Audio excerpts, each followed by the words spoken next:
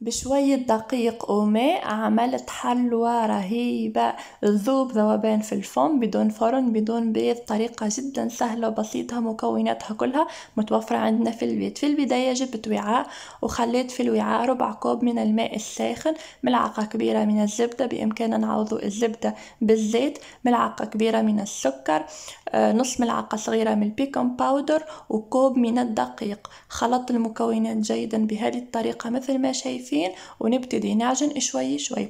إذا لاحظنا العجينة إنها ناشفة نزيد شوية مي إذا لاحظنا العجينة إنها كثير تلتصق في اليد وما تحب تتعجن بكل سهولة نضيف شوية دقيق وهكذا. لنتحصل من بعد العجن مدة خمس دقائق تحصلت على عجينة نفس هذه العجينة بالضبط.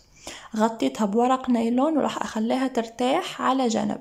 لحتى أجهز الشيرة للشيرة جبت طنجرة خليت فيها كوب سكر ضفت عليه نصف كوب من الماء ضفت عليهم عصرة ليمون وراح أخلي الشيرة على نار تكون متوسطة وأغطيها بدون أي تحريك بدون أي مجهود وأخليها عشر دقائق لحتى تغلي الشيرة مدة عشر دقائق كاملة.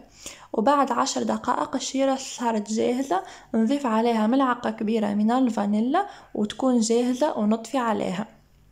بعدين راح نفرغ الشيرة في وعاء كبير حتى تبرد معنا ونغطيها ونخليها على جنب. لتحضير الحلوى مثل ما شفتوا العجينة بعد ما ارتاحت معنا. على سطح العمل راح أرش شوية نشا وراح أجيب العجينة وأفتحها بنفس الطريقة الموضحة في الفيديو. راح أفتحها باستخدام القلقال.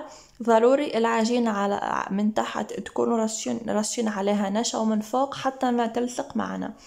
وابتدي افتح العجينة شوي شوي بنفس هذه الطريقة مثل ما موضح في الفيديو. بعد ما فتحت العجينة كلها مثل ما شايفين راح اكسفها ثلاث مرات بالطول بنفس هذه الطريقة بالضبط.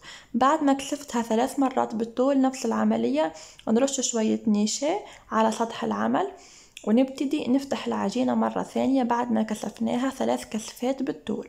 مثل ما شايفين طريقة جدا بسيطة. وبعد ما فتحتها مرة ثانية راح اكسفها ثلاث كسفات بالعرض.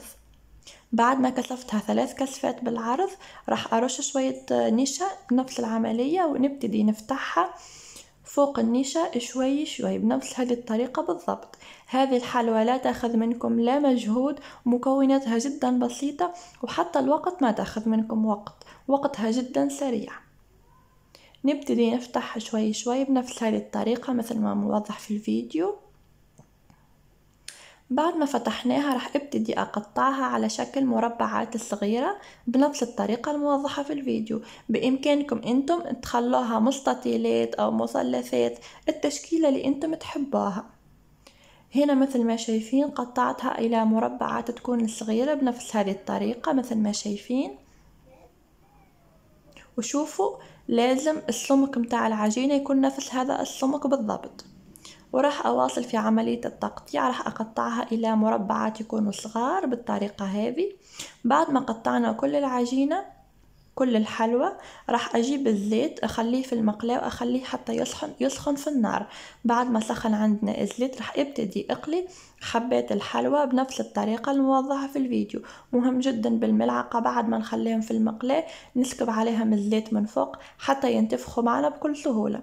وهم في كل الحالات راح ينتفخوا معنا لأن ضايفين في العجينة البيكون باودر فالبيكون باودر سريع راح يخلي الحلوى تنتفخ معنا في المقلاة بكل سهولة. مثل ما شايفين. والحلوى صارت جاهزة معنا مباشرة نطلعها من المقلاة نخليها على جنب في صحن. لا تخلوها مباشرة في الشيرة لا.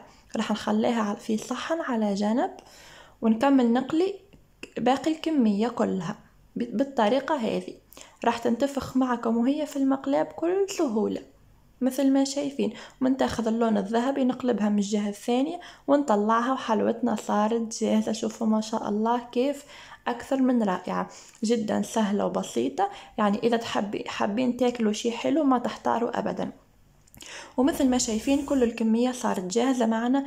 الآن راح أجيب الشيرة وأبتدي أدخل في الشيرة بالحبة بالحبة ما راح أدخلهم كلهم مع بعض حتى ما يتكسروا معي لأنهم هم هشين ومقرمشين. فإذا دخلتهم كلهم مع بعض في الشيرة ممكن يتكسروا معنا. فنحن راح ندخل بالحبة بالحبة نغمسها في الشيرة ومباشرة نطلعها بنفس الطريقة الموضحة في الفيديو مثل ما شايفين.